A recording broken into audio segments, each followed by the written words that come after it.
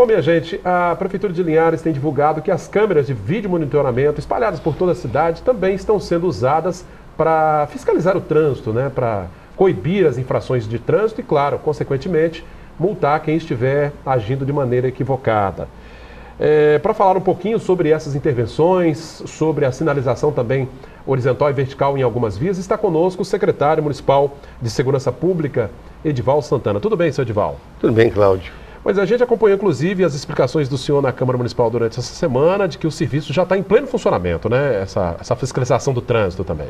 Sim, Cláudio. O, como expliquei eh, segunda-feira na Câmara, eh, foi realmente um, para mim, ter uma honra estar com, com lá debatendo o assunto. Uhum. Hoje nós estamos aí com alguns agentes de, de, trânsito dentro do sistema de monitoramento nosso, o qual nós temos lá praticamente quase 20 mesas. Então nós reservamos algumas lá para o, os agentes de trânsito. Porque eh, nós temos hoje, eu diria para as pessoas entenderem, nós temos poucos agentes, uhum. não temos concursos, eh, temos poucos agentes. Mas nós temos a tecnologia, porque eh, baseado no CONTRAN, a resolução 532, nos dá o respaldo legal de poder fazer o monitoramento, o trânsito através de monitoramento. Uhum. Então, é, facilita bastante, porque você tem, hoje nós temos aí 78 campos, 79, é lógico que tem dias que 10 ou 20 eh, o sistema cai, porque são através de internet, mas sempre eu tenho no mínimo 50% do ar. em funcionamento. É. Então eu tenho hoje, eu não tenho como o município, o tamanho da dimensão do município de Linhares, eu não teria como estar em todos os pontos com o número de com agentes, ali, com os né?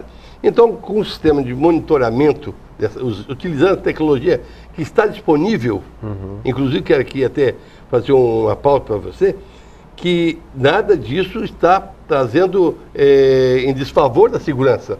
Muito pelo contrário.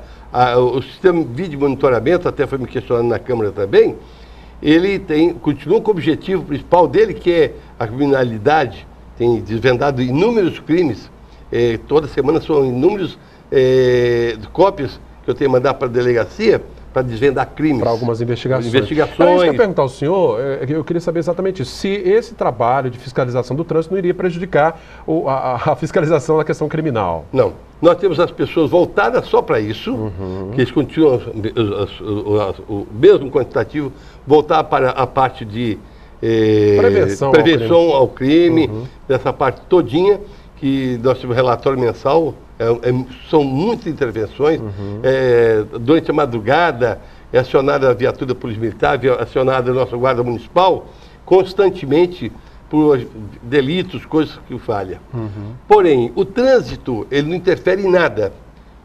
As câmeras continuam lá, normal.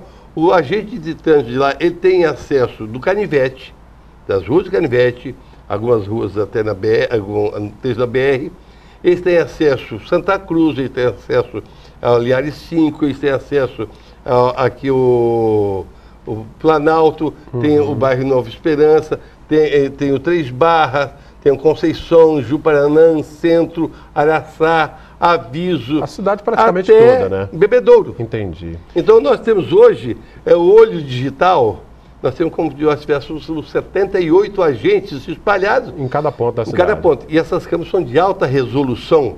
Até mil metros de distância, ela consegue é, identificar a placa do Com veículo. Com nitidez. Com nitidez total. Perfeito.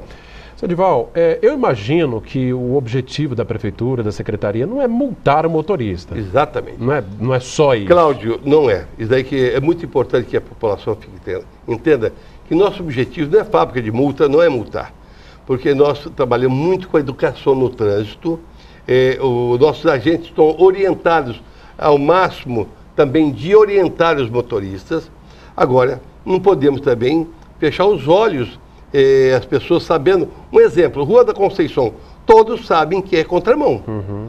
Mas muitos insistem em vir na contramão nela. Então não é Só é por falta de aviso. Não é falta né? de aviso, não é, é, falta de placa. Ele tirou, ele tirou a sua habilitação, ele sabe que ia ter a placa lá uhum. contra a mão, mas então tem a câmera na frente pegando.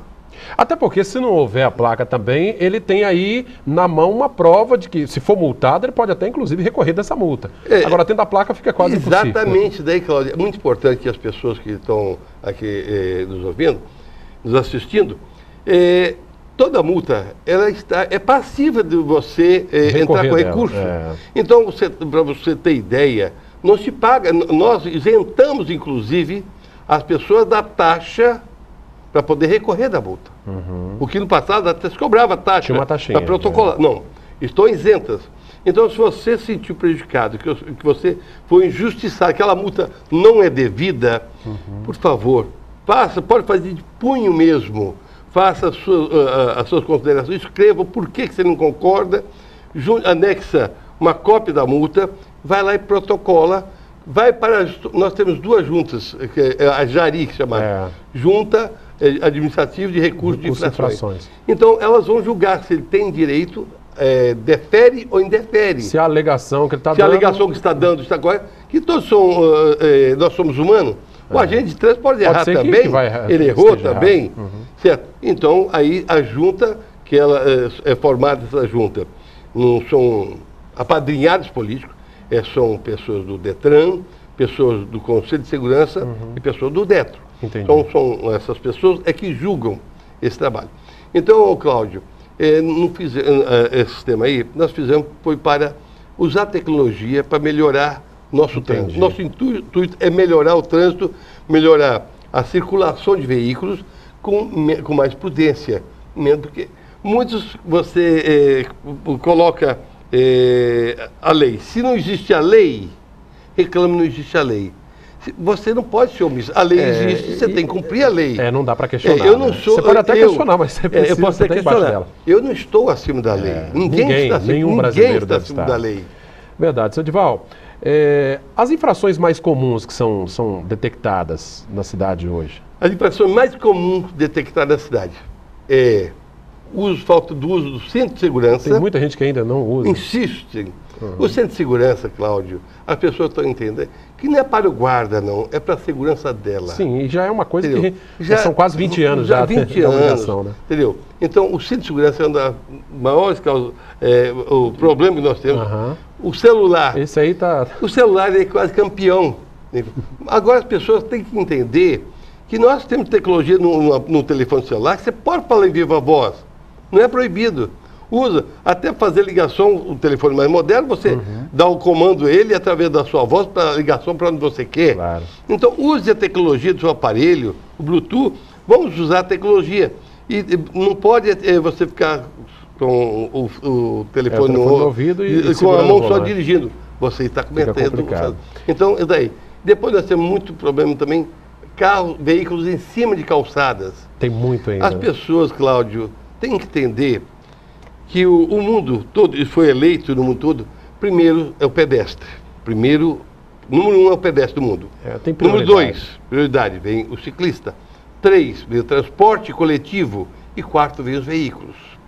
Então, existe essa regra de, de ordem, de, Uhum. de preferência. Então, as pessoas têm que entender que a calçada, ela é, é do pedestre.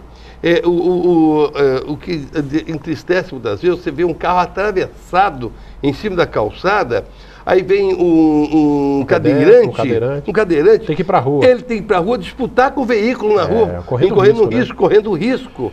Então É. as pessoas têm que conscientizar, calçada não é do proprietário do imóvel. De jeito nenhum. Calçada você construiu, mas não é sua. A calçada ela é pública. É de todos, e ela né? você tem que deixar, no mínimo, 1,20m livre. Inclusive, eh, não é minha parte, cadeira, mesmo que não é minha parte. É a parte Claro. veículos da calçada. Então, daí é uma E a infração também, é infração claro. também. É, seu Dival, desde que a prefeitura assumiu a- a- o gerenciamento do trânsito aqui, várias mudanças a gente viu o que foram feitas. Mudou uma vez, mudou duas. Imagino que tentando buscar a melhor situação, tanto para motoristas quanto pedestres. É, mas ainda a gente vê que em alguns locais apesar do que tem sido feito, falta uma sinaliza sinalização mais clara, sobretudo vertical. A gente viu, por exemplo, as ciclovias que estão sendo feitas aí, já concluídas praticamente, os 7 quilômetros, a, a, sinalização é, no chão, horizontal já pronta.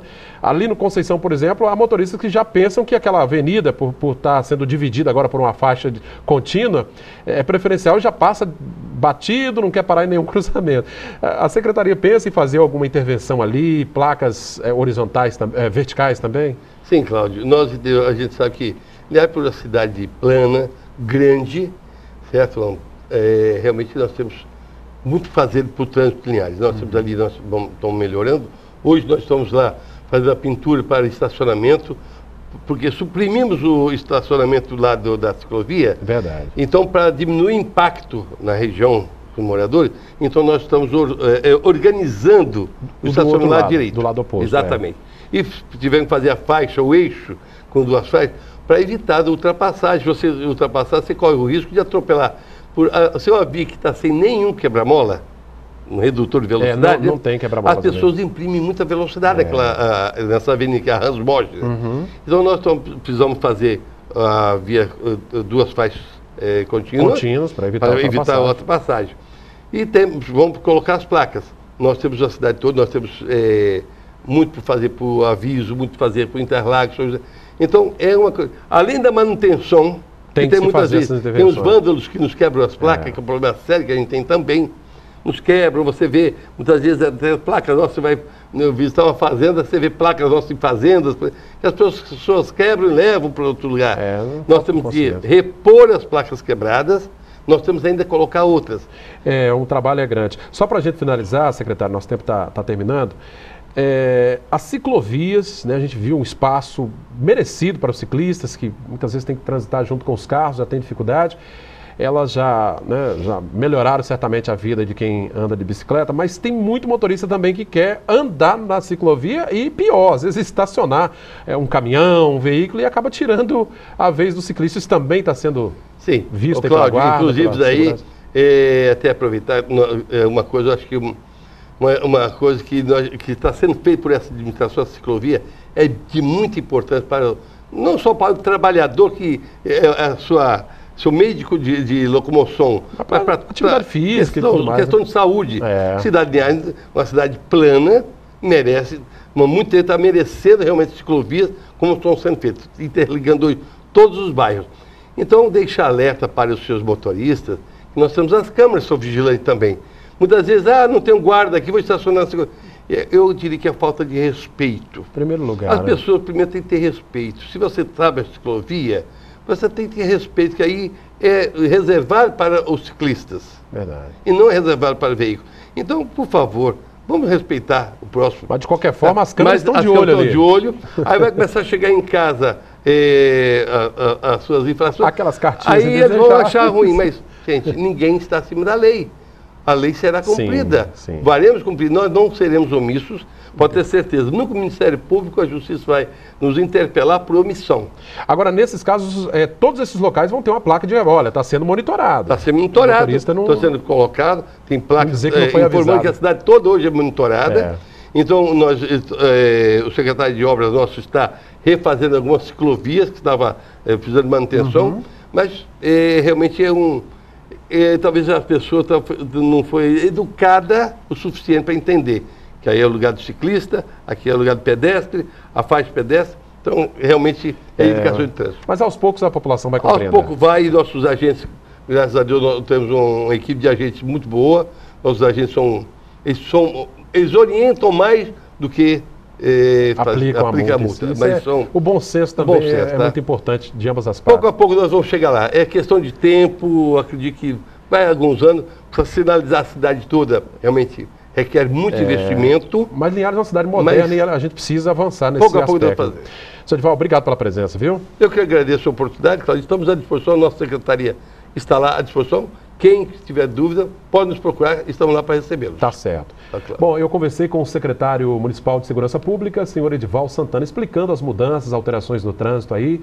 E a cidade toda agora, né, gente, monitorada, né? Infrações de trânsito agora não vão passar despercebidas é, por aí, tá certo? É bom ficar atento. Esta edição do Sim Notícias está terminando, mas você, claro, pode sugerir assuntos aqui para o nosso telejornal, enviando sua mensagem direto para o nosso WhatsApp. O número aparece na tela, ó, 998506060, mais um serviço aqui do nosso da TV Sim para você. Pode mandar a sua imagem, a sua informação para nós. Acesse também o nosso conteúdo nas redes sociais, facebook.com.br lá estão nossos vídeos, reportagens, deixe também o seu recado lá, ou acesse o nosso canal no YouTube. O telefone da nossa redação é o 3373-2000. E o e-mail para você mandar a sua, sugestão é o pautalinhares.com. Obrigado pela sua audiência, pelo seu carinho. Sim Notícias, Linhares se vê aqui.